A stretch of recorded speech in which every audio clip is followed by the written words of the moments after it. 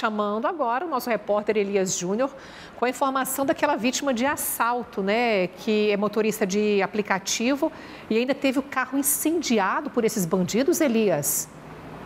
Pois é, Luciana, boa tarde para você, todos ligados no Jornal do Meio Dia. São imagens assim que de doer o coração, de cortar o coração. Isso aconteceu em Anápolis, Avenida Brasil com Avenida Goiás, madrugada de domingo. Infelizmente aconteceu aí essa situação, a tentativa de assalto e acabou que terminando com um carro completamente incendiado. Motorista de aplicativo levando esse prejuízo aí de 35 mil reais aproximadamente.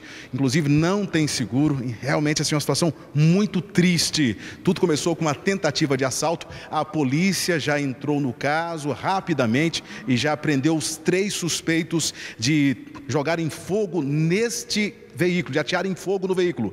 Tem um detalhe: antes de atearem fogo, jogaram pedras, acertaram pedradas no veículo. Vamos ver as imagens. Quebrando o carro do Uber aí, velho. Que nós faz? Dá pra fazer nada, velho. Dá pra fazer nada lá. O cara quebrando o carro todinho no moleque, velho. Tá é louco.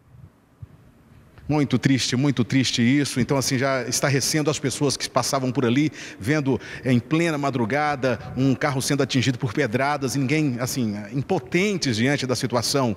E o pior aconteceu depois: acabaram ateando fogo no veículo. Quem vai trazer detalhes da ação da Polícia Militar de Anápolis é o primeiro-tenente Josias Alves da Silva, do CPE de Anápolis. Vamos ver as equipes de CPE Anápolis conseguiu localizar estes indivíduos, foram conduzidos à delegacia e foram autuados por tentativa de roubo, incêndio criminoso e favorecimento real. Ainda bem que a polícia agiu rápido para ver se a justiça vai ser feita nesse caso, mas o prejuízo está aí. Um trabalhador trabalhando na madrugada e agora com esse prejuízo, um carro completamente queimado. O que ele tentou foi defender o seu patrimônio. Tentativa ali de assalto, teve inclusive uma luta e revoltados com a luta jogaram pedras e depois colocaram fogo no veículo. Aonde vamos parar desse jeito, né, Luciana? Volto pois com é, você. Prejuízo material e sem contar o trauma também dessa pessoa, desse trabalhador, mais uma vítima dessa bandidagem.